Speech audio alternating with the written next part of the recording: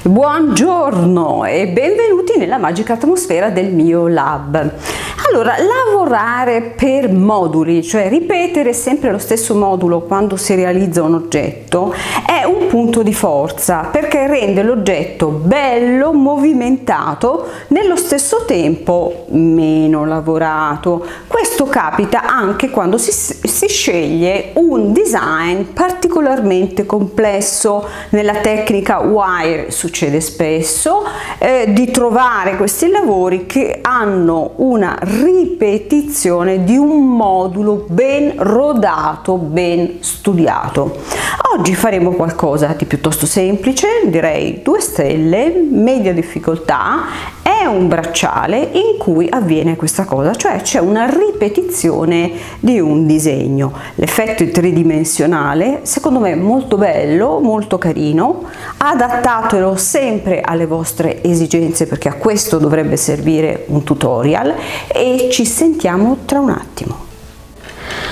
Scelto un filo di ottone perché era quello che avevo a disposizione come al solito uso quello che ho in laboratorio. Però consiglio vivamente il rame perché è più malleabile.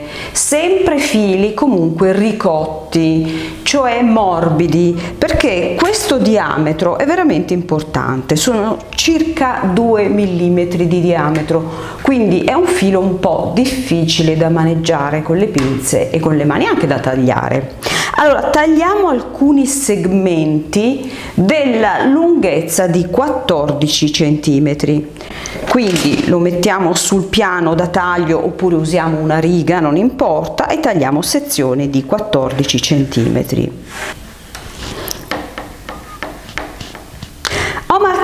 Un pochino i fili per renderli un po' più diritti, ma non ho esagerato, perché essendo questo un diametro molto importante, martellando il metallo diventerebbe particolarmente duro e difficile da utilizzare. Quindi ho fatto una cosa veramente minima, anche perché poi non vi preoccupate, questo non sarà un problema nel fare, nel realizzare l'oggetto. Tagliate se possibile le estremità con un archetto, fatelo ora che è il momento giusto, altrimenti eh, semplicemente usate una pinza e poi limate. Fatelo in questo momento però perché vi renderà il lavoro più semplice. Allora abbiamo dunque queste sezioni da 14 cm circa, troviamo la metà e segniamola su tutti i pezzi.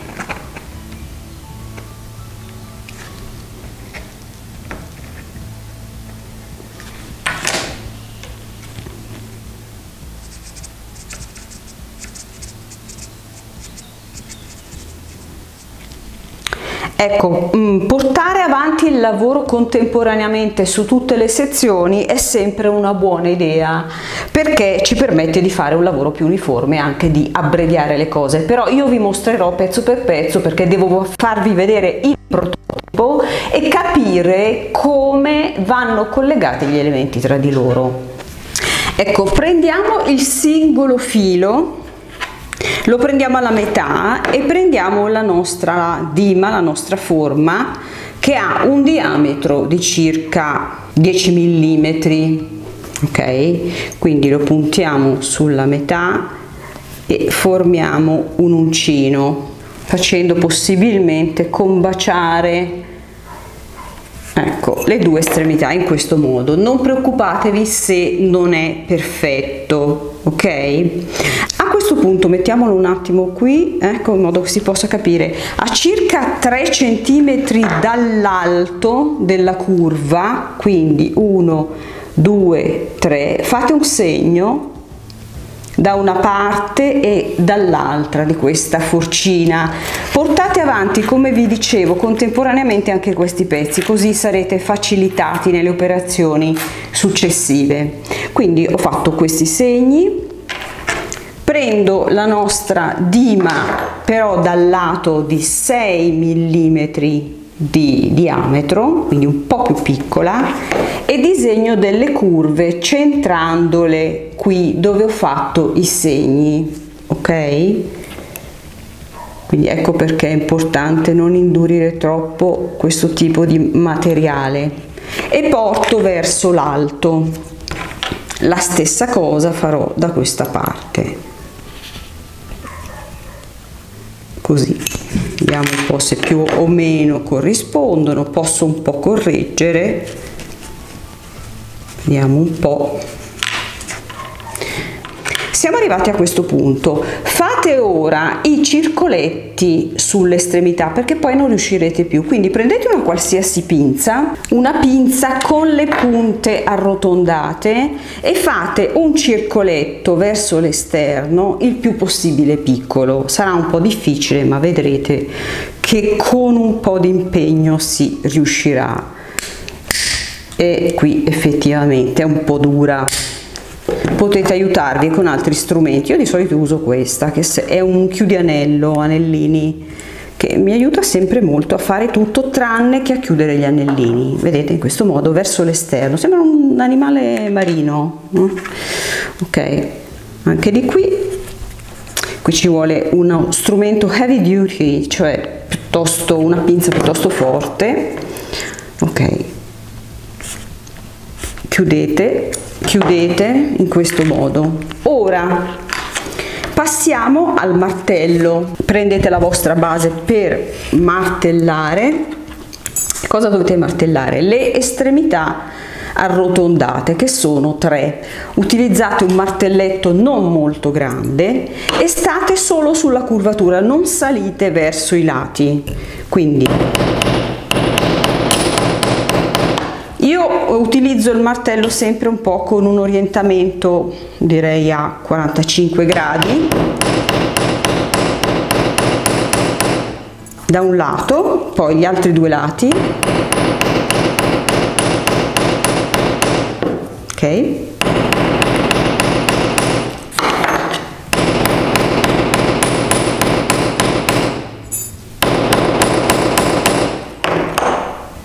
La forma è questa poi avvicino molto ecco, facciamo fare una curva e qui c'è da spingere un pochettino in questo modo. Sovrapponete alla, eh, alla curvatura centrale quelle laterali anche se sono un po' come vedete si orientano un pochino di sbiego ma, ma stanno bene tutto sommato. Aspettate questo è un po' troppo. Ok in questo modo vedete? Poi il risultato finale del singolo pezzo all'incirca è questo. Per collegarlo agli altri pezzi li dobbiamo fare. E ora vi mostro come si fanno i collegamenti. Però questo è il modulo base. Quindi proseguiamo per capire come si crea quell'interessante intreccio. Ecco ho fatto già alcuni elementi.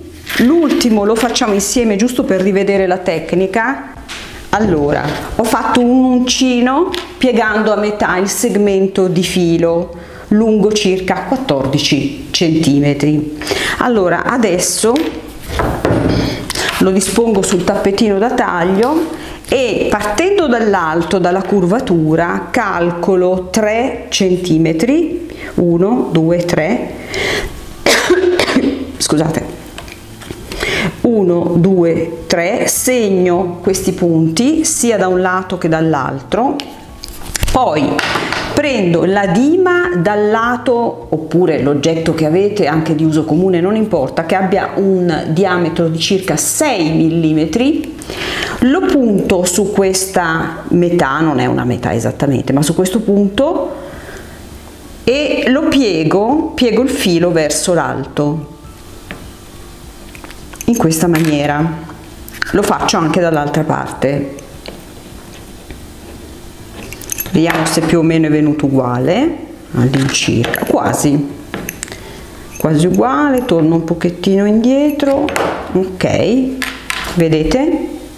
Ora prima di martellare direi che forse è meglio avvicinare un pochino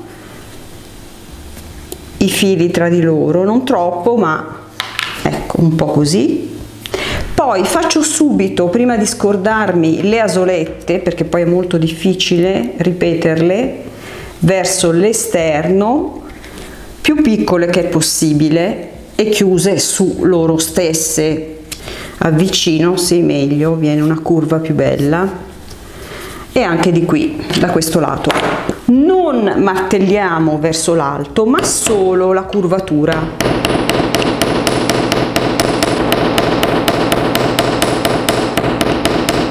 ora avviciniamo un po' questa specie di medusa, avviciniamo le due asolette esterne, le due ali esterne, le avviciniamo verso il centro, si devono praticamente incontrare e anche questo lato, questa parte si deve incontrare, avvicinare, ok? Ce n'è sempre una che sale un pochettino ma, ma, sta bene anche un po' dà un effetto tridimensionale. Adesso tutti questi pezzi vanno uniti. Allora intanto vi dico che la direzione è quella del trenino che la parte superiore è quella dove ci sono le due asolette, le due ali che si alzano, quindi questo è il lato superiore. E la direzione è un po' come nei vagoni del treno, quindi disposte in questo modo. Ogni segmento è unito all'altro in questo modo. Scusate giro eh, no no no era di qua. Ora per unire un elemento all'altro prendo uno che sarà il, il principio l'inizio diciamo il, la, la, la motrice di questo bracciale eh, alzo le alette un pochino verso, devo creare uno spazio, verso l'alto e dopo aver alzato un pochino le due alette inserisco l'elemento dall'ansa maggiore, non è il lago maggiore, eh, dall'ansa più grande proprio da qui e lo, se è il caso qui stringete un pochino e lo fate passare vedete? Poi chiudete da qui chiudete sistemerete alla meglio naturalmente perché sia bello da vedere. E state certi che non si aprirà più in questo modo. E continuate in questo modo. Anche qui voglio alzare un pochino leggermente. Qui ho già stretto un po' le due anse tra di loro ma giusto per fare passare l'altro elemento solo per quello. Passa da sopra vedete? Poi chiudo schiaccio ok chiudo anche qui schiaccio anche qui. Perfetto date una sistemata e tutti gli elementi sono uniti. Guardate che bello questo effetto tridimensionale. Vedete bellissimo. Ecco anche dall'alto. Qui ho messo un gancio solo per pura solo per pura dimostrazione perché non è, non è un gancio effettivo.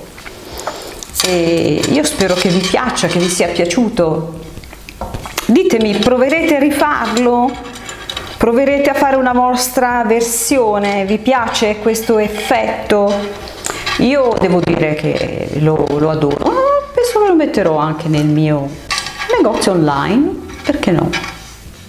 Che ne dite? Non era male, eh? piuttosto bello. Mi raccomando fate i vostri aggiustamenti, utilizzate il materiale che volete, cambiate, utilizzate l'argento, consiglio moltissimo il rame, eh, placcatelo, eh, rodiatelo, eh, fatene una collana, avete moltissime chance e possibilità, ma intanto voi seguite il canale, mettete mi piace se vi è piaciuto il video, condividete, diffondete il verbo tra gli amici e, e continuate a seguirmi perché la settimana prossima io sarò qui con un altro tutorial. Vi abbraccio, grazie per essere, per essere stati con me.